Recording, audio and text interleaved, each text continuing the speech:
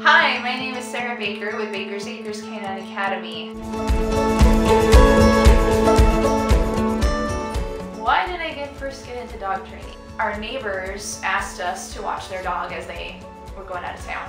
So I was like, okay, cool, yeah, I can, I've got experience with dogs. My mom was a dog trainer. I can read animal body language. So I started watching neighbors' dogs as they were going out of town. I kind of on a whim just said, I'll throw it out there in the universe.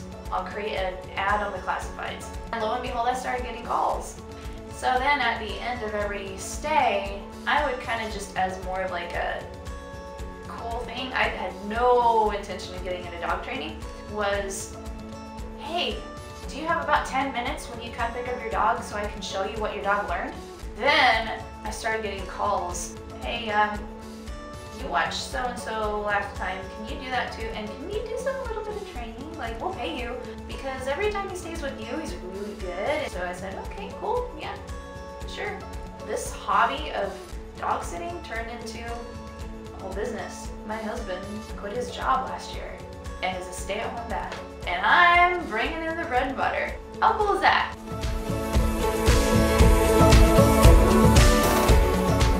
My favorite word. My favorite hobby, singing. My favorite type of music, movie soundtracks. My favorite soundtrack, The Last of the Mohicans. Getting on the freeway. I feel like I could do anything. If I could do anything besides dog training, either acting or taking my family all over the world to visit all of these historical places. Not just my family, but to teach everyone that I come across because that's my passion.